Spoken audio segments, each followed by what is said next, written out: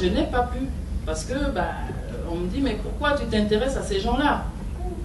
Ces gens-là, ils sont comme vous et moi. Ils sont, voilà, ça pourrait être moi qui suis dans la rue en train de. Mandel, vous avez fou, c'est pas la même. C'est différent. Il y avait il y a des différents.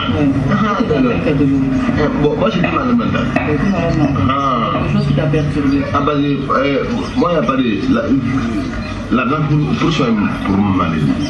Euh, moi j'ai fait Bon, je regardais la télé avec elle, elle m'a regardé.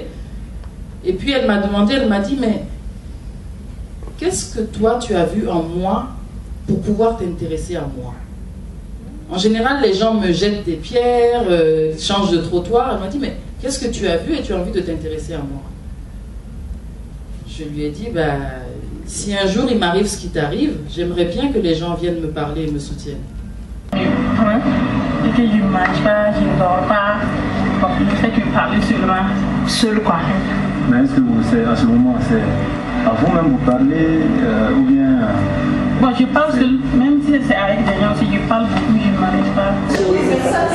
Le message que je veux faire passer, c'est de dire à tout un chacun d'être vigilant, d'être attentif, euh, d'écouter, de prendre des- le temps d'écouter les gens, de leur parler et de ne pas attendre que ce soit trop tard avant d'aller voir un médecin ou d'aller consulter.